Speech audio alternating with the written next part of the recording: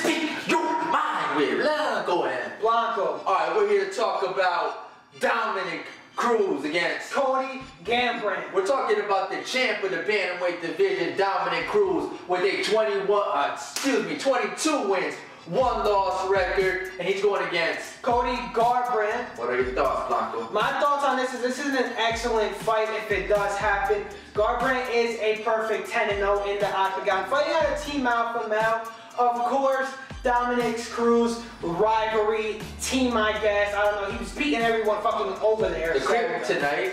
Uh, let me just go ahead and do some notable things here on Dominick Cruz, the champ, who actually was injured. Uh, basically, you know, the interim champ became TJ Dillashaw. Anyways, but he, he, TJ Dillashaw became the official champ. The official. Kenneth Brown was an Dominick Cruz was out. Alright, thanks for that correction. What I'm saying here in regards to these last fights, out of the five fights, four of them were by decisions, wins by Dominick Cruz. Yeah. One of them was by K, uh, KO. So, interesting thing here, uh, Dominick Cruz has won unanimous decisions on Uriah uh, Faber yep, twice. Here. Also, Mighty Mouse, uh, he won a unanimous Long decision. time ago. And then he, the one decision that he won out of his last five fights, the split decision was against TJ Dillashaw. So what I'm trying to say here, Blanco, is in this fight, Dominick Cruz had already proven to beat the elite of the elite, beat the best of the best. In this fight, do you see him possibly losing his title? Okay, so first of all, let me uh, talk about Cody for a second here. So Cody is coming off of a knockout versus the Takeo Mizugaki. First round, actually knocked him out faster than Dominick Cruz did, and he actually stated, hey man, I knocked him out faster than you did after that fight. So he knocked out him. He knocked out Marcus Brimage in the third round, or TKO'd. He also knocked out Augusto Mendes in the first. He's also knocked out Thomas Almeida. Of course, I actually knew Cody was going to win that fight, and he was actually the underdog versus Thomas Almeida. This is what I'm going to say. I'm going to say that Cody is a knockout artist. He's very vicious with his strikes. He's just straight out there, brawler now, status. Why you say that? I'm gonna say, well, Dominick Cruz is official with his movements. Will he get caught by the strikes or the speed of Cody?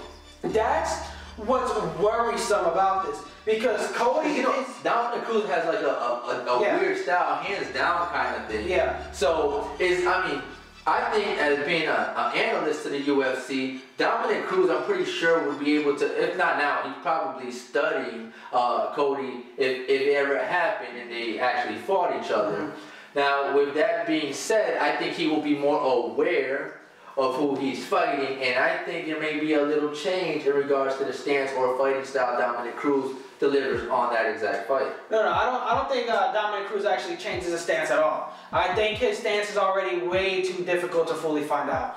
I don't. No one's been able to pick apart Dominick Cruz's fighting style. Besides Uriah Faber back in WEC, but then again, that's when Dominick Cruz was young. He wasn't wise in the way that he was fighting, and he just got caught in a guillotine. Here, we have a guy, Cody. He is an aggressive fighter. He is young. He is literally the youth of the UFC right now. He is one of the most youthful people. One of the what I the people who can be a star. Blanco, let me, and that may be the case, but what would be more interesting to me, maybe a little bit off topic here, but I think that Cody should go against TJ Dillashaw. And, and the best of both, because TJ Dillashaw deserves a rematch There's against Dominick Cruz. You got to look at it from a UFC perspective. I don't think that they do this. The reason why is if you make those two fight, after Dominick Cruz fights whoever it is that he fights, who the fuck does he have to fight? That's it, man. That means, that means the runner-up just beat the guy who was a second runner-up, basically. You don't have those two fight. I don't think it's a smart idea. Who's um, winning the fight?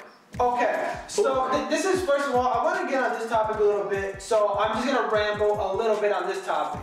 So one thing that I want to say is TJ Dillashaw and Dominick Cruz was a very good fight. It was very close.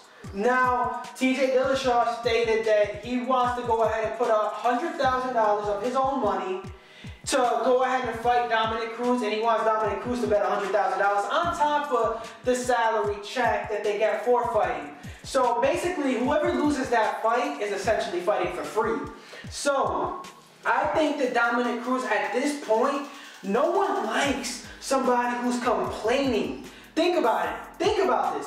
When Jose Aldo was complaining about fighting Conor McGregor, nobody wants to hear a champion complain the way that these fighters are complaining. Like, that, like TJ Dillashaw is sitting here crying and complaining. Yeah, everyone knows, bro. Everyone knows you deserve a rematch. Everyone. There's not one person that, that watches UFC. Let me, let me, let me, let me, let me, let me reel back. Let me reel back. What I think is gonna happen here is Dominick Cruz bringing it back, just reeling it back, Blanco. Dominick Cruz is gonna go ahead and win this fight if it ever happened to Cody.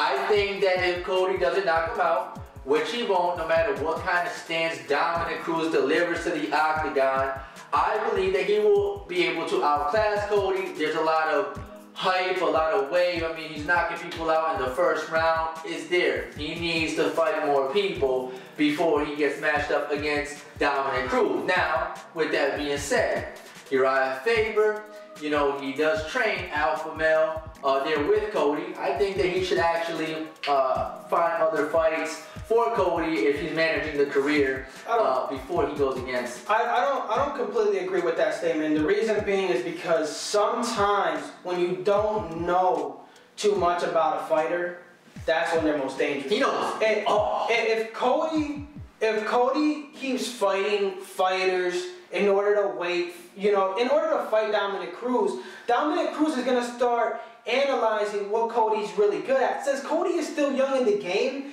this might be a very good time for him to fight Dominick Cruz because there's not a lot of footage. Now, if he keeps fighting, there's going to be so much footage that Dominick Cruz is going to be able to pick him apart because he's an analyst. So, a, a good a good fight to look at when you think of something like this was T.J. Dillashaw versus Renan Barão. Who the fuck thought T.J. Dillashaw was to be Renan Barão? No one, because there wasn't enough video on him. I believe TJ Dillashaw was number four in the world and Renan was champion. No one thought TJ was gonna win. He was a, I believe he was a six to one underdog. That's incredible numbers. So with that being said, I think that this is a smart time for Cody to fight Dominick because there's not a lot of footage on him. Who wins?